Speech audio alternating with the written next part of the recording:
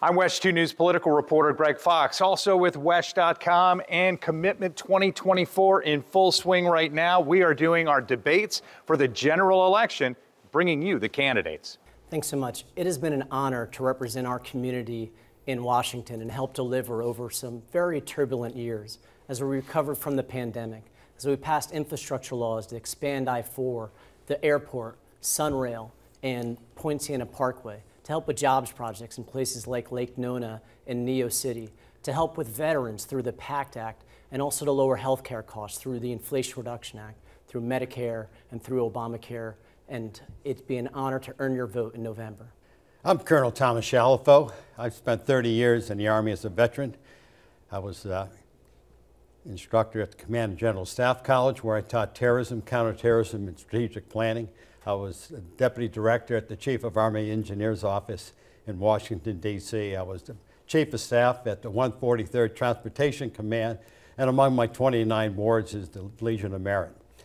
I founded Thomas Contracting in 1978.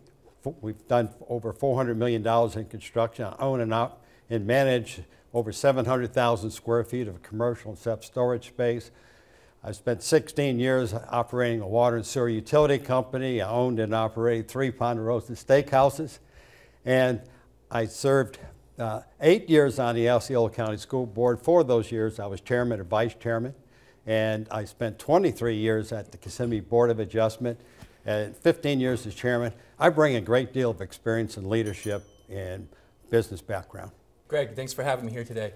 Um, you know, I'm here to offer the citizens of our district with something different, something new like most Americans, I've spent my entire life watching our country slowly fall apart at the hands of our broken two party political system. And whether it's wars, immigration, inflation, bailouts, COVID, or anything else on the seemingly endless list of problems Republicans and Democrats have spent decades creating, what I understand is nothing is going to change until we, the people, stand up and do something about it ourselves. And that's the path I'm here to offer. I'm not a career politician. I'm a veteran who enlisted in the Army after 9 11 while I was still in high school and spent half my 20s in combat zones learning the hard way what it means to serve my country. And I'm a father.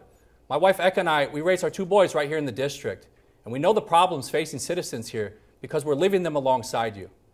Now I'm here to provide us with the genuine, authentic representation that we're all looking for. Promote common sense solutions centered around the needs of our citizens and not the demands of donors. And rebuild the bridge between the government and the people it serves. Thank you. This has been our exclusive WESH 2 News debate. You can see it right now on WESH.com, our social media pages, and on air.